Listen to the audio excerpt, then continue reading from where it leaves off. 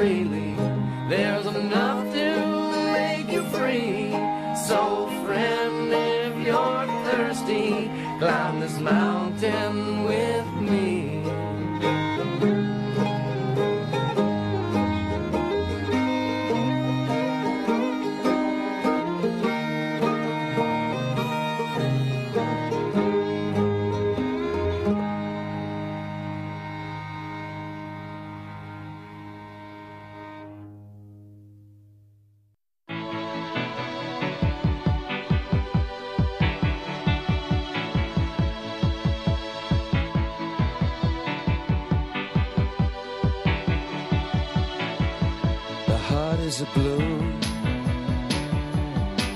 shoots up through the stony ground. There's no room, no space to rent in this town. You're out of luck. And the reason that you had to care, the traffic is stuck.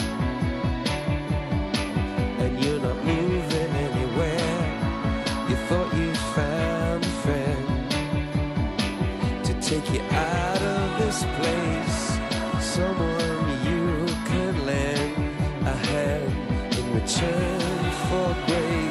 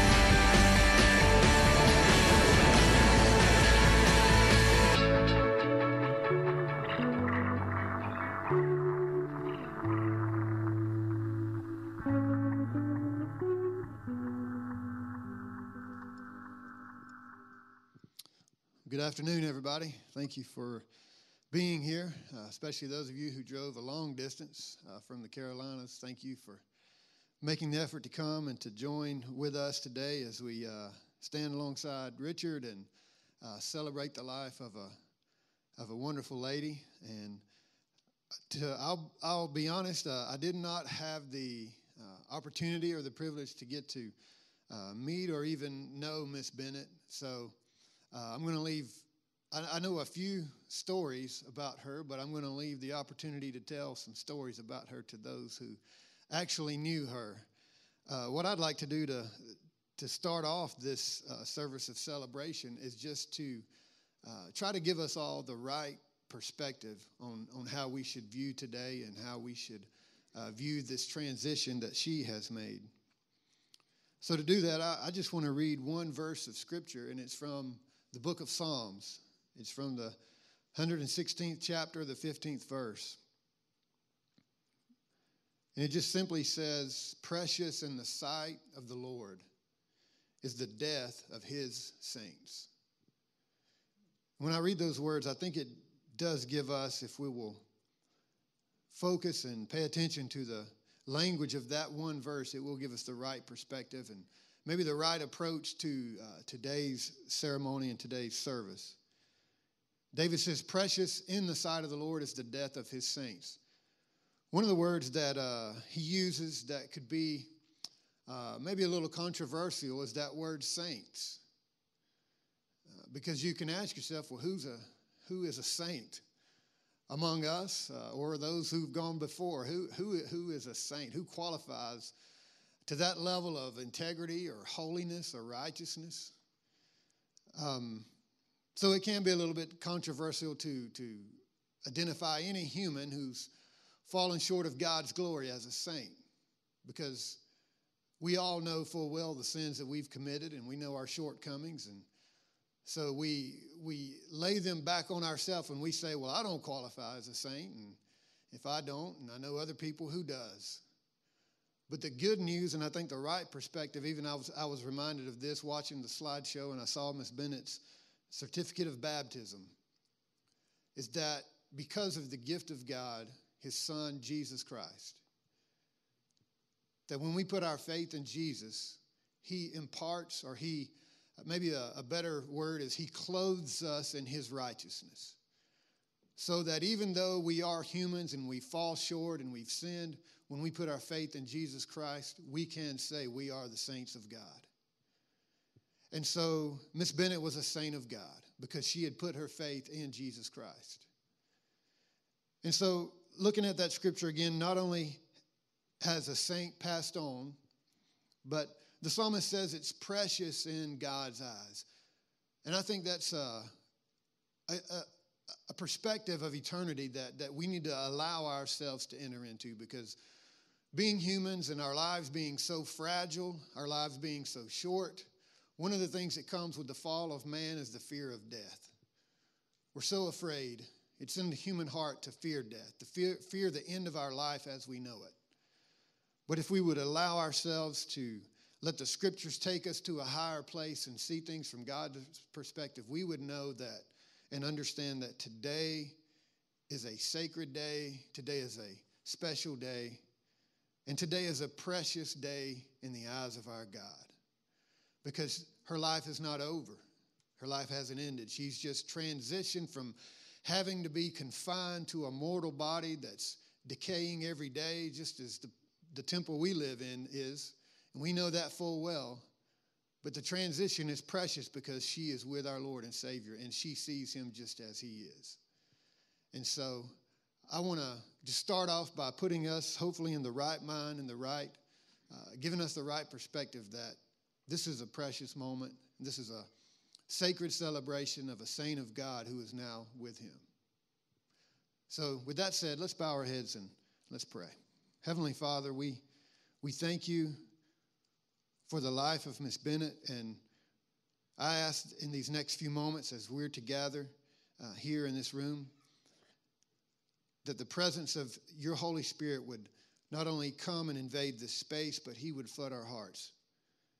Bring your peace that passes our understanding. Bring your joy, even in a time of sorrow and grief and loss.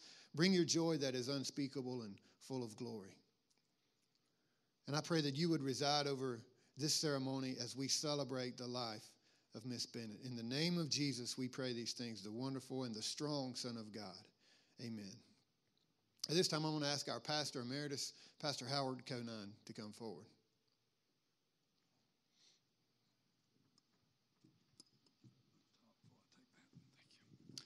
Thank you, Pastor David. To begin my remarks, I want to read a few verses of scripture from the book of John, a text that is familiar to no doubt everyone in this uh, sanctuary. John says, Let not your heart be troubled. You believe in God, believe also in me. In my Father's house are many mansions. If it were not so, I would have told you.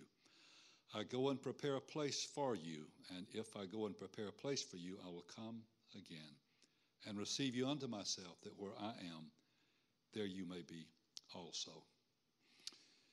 It is never, ever easy to lose someone that you love. It can be long, lingering, predictable, expected or sudden and unexpected, it's hard to give up someone that you love. Death is certain. Hebrews 9:27 says it is appointed unto man once to die, and after that the judgment. I met uh, Richard's mother, Marjorie, Miss Bennett, a number of years ago. I can't recall exactly how many years ago, but one afternoon, I received a phone call. On the other end of the line was a voice that said, This is Richard Bennett. You don't know me, but I know you. I've watched you on television for a long time now. My mother's here in the hospital, not expected to live. If you'll come heal her, I'll go to your church. I don't go anywhere. We've never talked about this. I, the first thing I felt like saying is, Richard, I can't heal a fly with a headache. But he didn't need a theology lesson, he needed a friend. And so I went. And uh, I had nothing to do with that other than praying for her and being a friend to Richard. Uh, that was in her 80s. She was born in July of 1919. What would that make? 88 years? Is my arithmetic right? 98, excuse me, 98 years. And uh, Richard kept his word. He came to church here, and we, uh, we have developed a friendship through the years since those times. So as a matter of fact, when we go to the Olive Garden, if they've got a new waitress, they'll say, You take care of them. Or somebody say, There they come again. Because we, we a little bit different and could say demanding, I don't know.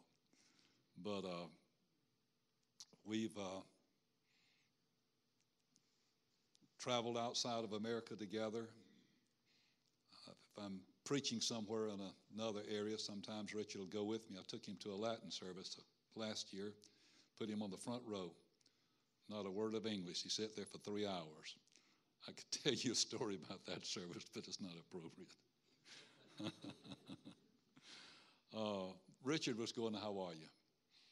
And of course, his mother didn't like him to travel. She worried about him. And uh, I don't know how much of that trip he wanted her to know about it, but he said he couldn't find anybody to take care of his mother. I said, I can. Me and my wife can. Uh, we'll check on her. We'll make sure she's cared for and taken care of. Uh, he said, Well, if you go over there, she's probably going to cuss you out. I said, Well, what does she like? said, Well, she really likes an eclair. So I got a, got a bag, a brown paper bag, and put some pastries in it. My wife and I knocked on the door. She's just four foot 11. She looked up at me and said, I won't tell you exactly. I just, who are you? She had a little adjective there. Um, but uh, I said, I'm Richard's best friend. And of course, that she wasn't used to strangers knocking on her door in assisted living where she stayed. And, but I kept playing with that bag. Finally, she said, What you got in that bag? And I opened it up and very carefully looked at it. I didn't give her an immediate, I, I wanted her to, to wonder. So I just started looking at it. And so when I told her what it was, she said, Come in. And we sat down and had a beautiful conversation. The next time I went back, it was open the door and come right in. And we just had the greatest time together. I told Richard when he got back from Hawaii, I said, Now I'm your mother's best friend. And uh, she was an unbelievable woman. I loved to be around her. I loved to listen to her and watch her. She, uh, she had a nickname, the Little General. Some of you might not have heard that. If you lived around here, you would. Uh, Richard called her that. She was strong, determined, independent. She had to be because when Richard was eight or nine and Gray was four years older, she became mother and father. I could relate to that. My dad died when I was just, I think, six weeks, two months old, and I, I guess I had a special affinity with Richard's mother because of my mother. Um,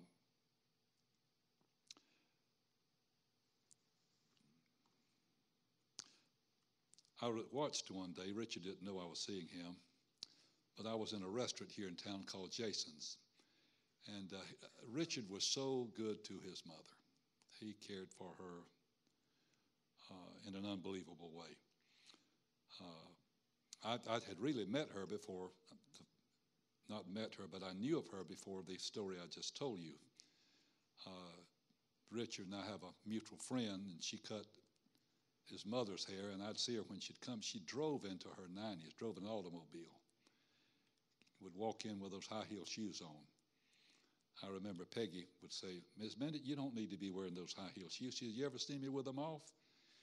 Uh, but uh, she had to be a, a strong, tough woman in charge, fearless, because she was left with an eight or nine year old boy and a 12 or 13 year old boy. Uh, Richard was telling me about her driving. He told me I forgot the kind of car it was, but when they were growing up, she drove a straight shift automobile sitting on three pillars.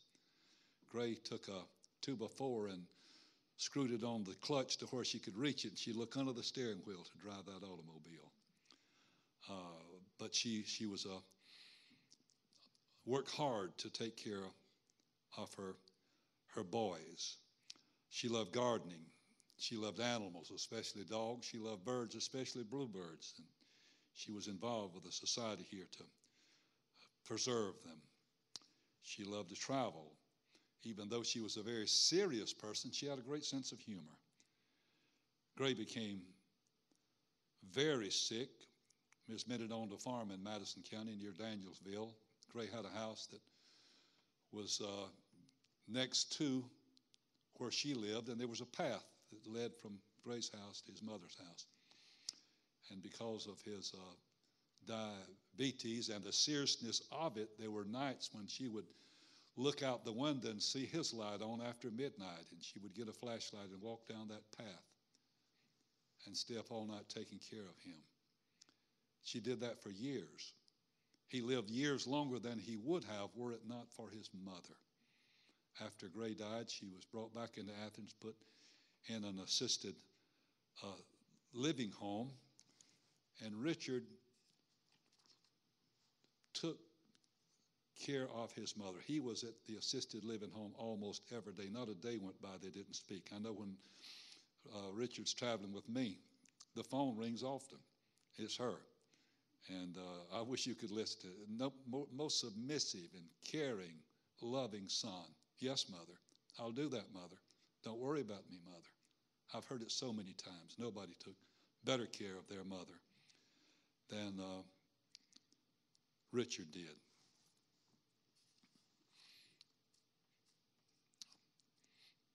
The Bible said life is like a vapor. It appears for a little while and it vanishes away. Life is like a blade of grass. It springs up and it's cut down. What is living to be a hundred years in comparison to eternity? Death is certain. Every newspaper carries its obituary column. It's a common sight to see a little tent stretched over a plot of ground in a cemetery. Methuselah lived to be 969 years old, but he had to die. Uh, I'm going to leave that where it is because I have more to say about that, and we're going to do some things, and I'll come and have some closing remarks before this service is over. But I want to say this thank you to all of you that came from distant places. Richard, I want to commend you for the unusual, exceptional way that you took care of your mother. I have worried about you when she would be taken and be gone, but I feel so much better. The last two weeks, Richard's been to my house on two afternoons. We spent hours together. Uh, my wife left to cook, and Richard and I left to eat. And uh, after spending time with you the last couple of weeks, I don't worry about you. I know life will be different and you will have those moments when you will miss her knowing she's gone. But for the last four years, uh, she hasn't really lived, she has existed. There's a difference in living and existing. Uh, the last four years have not been good. She's been sick for many years, but the last four years, she's been very sick and Richard's been a nurse. He has taken care of her, and he has seen that she had the very best care that she could have. So I tip my hat to you today. I salute you. I commend you for being a good son, for a job well done. Father, we thank you for Miss Bennett. We thank you for her life, her love, her legacy. We thank you for those that are here today to celebrate her life. We pray for them and ask your blessings upon them. We pray for Richard. Fill that void, that empty spot with your love and your grace. Help him to draw strength from his friends here at New Covenant that love him dearly. And I pray that you would take him in, into your care and wrap your loving arms around him and walk with him through this dark valley. And we ask your blessings upon those of us that have come to encourage him today in Jesus' name. Amen.